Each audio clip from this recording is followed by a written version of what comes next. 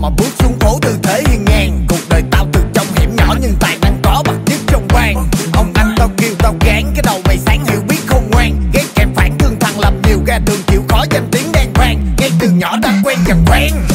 Với xấu bằng khen mỗi làm lía đời thời còn bé, nhất định phải có được mới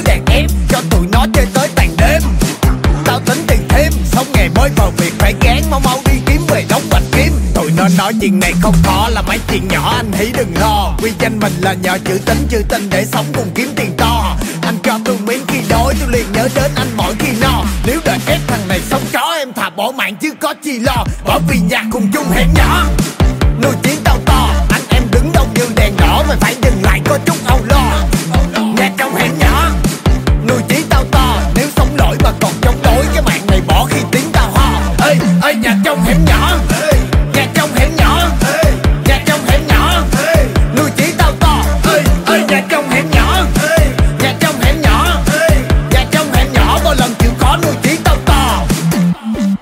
Xây đón gió để diều bay. Người miền Tây học được nhiều điều hay. Do bị lão đại đã đưa nhiều điều dạy Làm người là phải nghe thẳng sẽ gặp nhiều điều may Trong tay là cuộc đời. Không phải song pha, mất nhiều để suy nghĩ, ý tưởng và không ra. Từ ta chỉ phí sức nhảy rap từ trong ta. Như vậy là căn bản nhiều khi cả phong ba.